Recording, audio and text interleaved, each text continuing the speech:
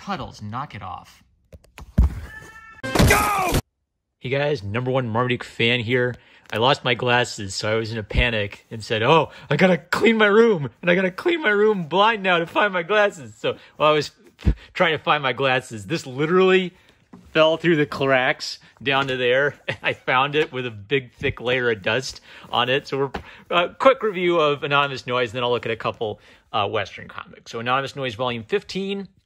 The whole series is good. It's a pretty complicated love triangle. So start it from the beginning. Uh, it's a whirlwind romance with rock and roll. Uh, and the best thing about it is as the love triangle gets drawn out, from a writing perspective, the thing Ryoko Fukuyama is brilliant at is making sure you're very entertained and invested while she's dragging out that love triangle for everything it's worth. So, uh, Mo- uh, Nino got together with Momo, and then it wasn't working out. She was losing her voice, so Momo broke up with her so she could find herself and stay true to her singing. How self sacrificial. So, after doing all that work to find Momo again, Nino's single, and the band is back to doing concerts and their first anime single, which is kind of interesting because they have the she has the band do different kinds of things. She'll have them do a rock concert, then she'll have them do an anime single, then she'll have them do like a uh, duet with another popular band. She really is getting into like lots of different neat things about trying to become a hit indie band in Japan. So I highlighted this scene because this scene sort of captures everything that Anonymous Noise has been so far. I talk a lot about how there are scenes that uh, I like, even though they probably weren't intended to be hilarious, but I hate the idea of liking something ironically. I, I never pretend to like something. If something is goofy, I like it sincerely, even if it's something that other people might like ironically. And I highlighted this scene because I feel like this is a good illustration of what I'm trying to talk about. So, Nino is talking to a pretty boy from a popular punk band named Girless, and he seems to be giving her some good advice on how to be a professional in the music industry, but it also seems like he might have some ul- ulterior motives. Like maybe he's in love with Alice, maybe he's trying to get in her head and prove that he's that she'll never be the uh, rock and roll star that he is. But he gives her uh, this advice on what do you do if one of your band members seems to have lost all confidence in themselves. He says, smack them. And she says, yeah, but what if that doesn't work? Then what? Smack them over and over until it does work. I mean, that's the type of person you are, isn't it? And then it zooms in on her all doe eyed, and she's thinking, I'm positive. He holds the key to moving us forward as a band. I love it. All right. So the reason I highlighted this is this works on like three different levels. Number one, it works on the straightforward level. She asks for advice, and the gag is he gives her kind of this dumb but straightforward advice. Just if somebody on your band is having trouble, just smack them. And if that doesn't work, keep doing it over and over again. And she reacts like this is legitimately good advice and she thinks it's a great idea and she's in awe of this amazing advice so it works on kind of like the weird goofy uh was this is this intentionally hilarious or unintentionally hilarious level. But it also works on a narrative level because she's coming to a realization on how to reach uh, Yuzu. And it works on a character level because this whole time Alice has been this very uh, Alice is Nino, Nino is Alice. The the, the her when she's the real girl is named Nino. When she's on the band, she plays the role of Alice in Wonderland for the band. But she always has had this blunt, very straightforward personality, and some things fly over her head. So it's completely believable for her character that if someone gave her the advice of just smack someone over and over again, she would be in awe of this advice and take it completely seriously. So may- maybe it was intentional a- after all. Like like the fact that I can read this over and over again and enjoy it for multiple different reasons. Uh, I don't know. Like it'd be really hard to write something this good on purpose. And then it's the setup for like a legitimate character moment. So this is the other thing Ryoko is very, very good at is she makes sure that if she sets something up for her characters, that it has some fulfillment or some punchline in the chapter. So the chap, the punchline of the chapter is that Yuzu is a brilliant artist, but he gets in his own head too much. So uh, Alice takes the advice of just smack him, and then all three of the band members, independently of each other, come to the conclusion that Yuzu just needs a, a smack upside the head uh, at the exact same time because they, they can tell that he's about to get moody and into his own, uh, I don't know, emo emo world. So that's their way of being a supportive friend. Great, great punchline. Uh, a lot of, lot of neat stuff like they have a big show and uh, one of the major bands uh, has a catastrophe, so they get promoted from the medium sized stage to the big stage, underscoring how they're kind of scrappy underdogs rising up the charts. Uh, there's neat, more continuing, you know, neat romance stuff, and there's like a neat battle of the bands thing where uh, Alice gets to do a duet and as she's doing the duet, like the the girlish band member who seems nice but also seems like he's secretly a bit of a jerk, wants to use it as a kind of opportunity to one up her and show her that you know she has no clue how how hard to rock compared to him.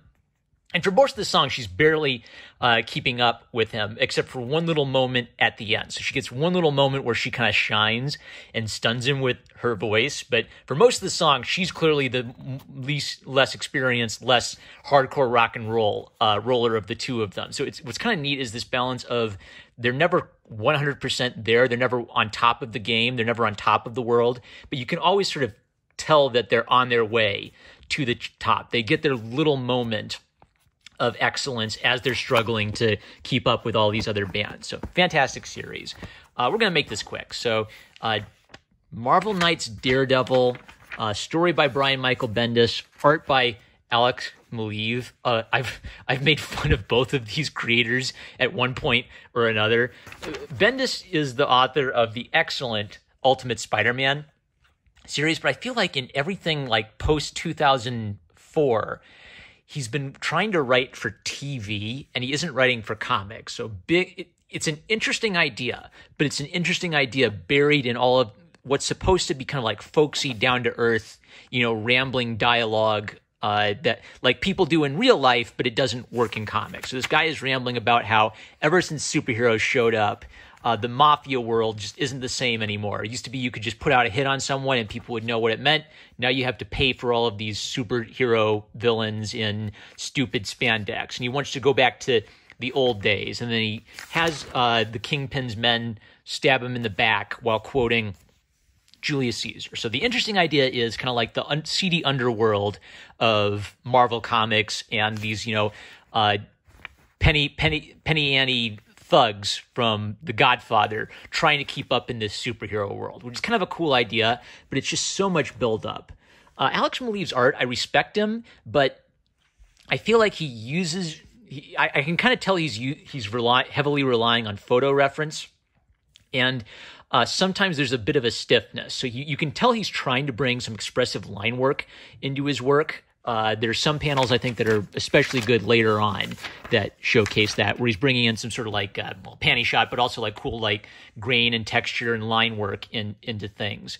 Uh, but then some of the poses will just be kind of like reliant on his photo reference. So I think he's a really talented artist. I just, I just feel like a lot of his Marvel work, he's been I don't know, I don't know, not not not pushing it he, he isn't pushing the energy on some of the poses in this, but this stuff I like. I, this kind of gestural stuff, I think he should lean into that. Now, the the Brian Michael Bendis problem is words, words, words, words, words, words, words, words, words, words, words, words, words, words, words, and then it just ends with him like in the middle of a sentence and in the middle of a fight. The end. I don't think they should release. It, it'd be like re- re- releasing five minutes of a TV show as an episode you buy, even even for a one dollar preview. Like if the point is you have to read the whole story, I don't know, make a make a three dollar thicker preview that actually kind of leaves you off at a nicer ending point. Now, in contrast to that, uh, X Men Moira MacTaggert. It's a reprint of X Men 96. This is something that has a complete little story in it and a whole bunch of other stuff. So Chris Claremont is the author. Dave Cockrum is the artist. Uh, I, I, I know I read this comic when I was a little kid, but I wasn't paying attention to artists back then. So this is my first time looking carefully at a Dave Cockrum uh, comic. He has a really solid style, kind of in that classic Marvel style. Little influence from uh, Jack Kirby and some of the machinery and the cool abstract stuff that shows up. Little influence from John Buscema and kind of like these fluid, muscular uh, figures, I think. But really, just a uh, couple, couple wonky panels, but really, really solid, good old timey uh, classic illustrator artist. So it has uh, Cyclops grappling with the death of one of his men and basically feeling like a loser because he wasn't able to save his men. Uh, and I also like how every character or a lot of characters will have a little subplot in their lives given center stage for a moment, but that doesn't d- distract from like the overriding thing. So, uh, Wolverine has this moment where he's been trying to get this psychic training to control his rages, and then during the fight, he loses control and he cuts the monster into ribbons. So it feels like his training isn't getting him anywhere in stopping him from being an animal. Uh, Ororo Storm has like a flashback to her time as a street urchin, uh, pickpocket. Uh, we this introduces Moira MacTaggert, of course, but it actually doesn't make too big a deal out of it. She just sort of shows up, and there's like a gag where Banshee suspects she's going to be like an 80 year old crone, and she shows up and she's uh, hot waifu material, so he's instantly trying to uh, like make her his uh, Scottish tomboy G- GF. Uh, and, and, and, then there's like also a neat subplot of like the government hating mutants and wanting to come come after them. And the, but in addition to all this, there's just like a plot where an evil demon shows up they fight the demon gargoyle. They beat the demon gargoyle. The end. That plot gets a beginning, middle, and end in the midst of all of these little subplots about these characters experiencing this stuff going alongside it. And Xavier kind of has this. I don't know, torturous psychic experience where the gargoyle messes with his mind and it switches to uh, what do you call it? Kind of psychedelic uh, brain brain fry style. So fantastic. That's not a very good face, but overall, an amazing, an amazing artist, a great era of comics. So much stuff happening. So I'm not going to rip the Daredevil comic, but I am going to give it away, uh, and some lucky kid's going to get this X Men comic. All right, these this is going to the library. This is going to the donation box. I'm number one Marmaduke fan. I love you guys. Catch you later.